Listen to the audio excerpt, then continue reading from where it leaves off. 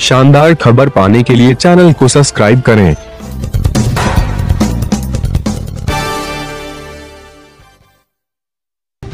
नमस्कार, आप देख रहे हैं खबर सेवन न्यूज़ चैनल, मैं हूँ जुगल किशोर।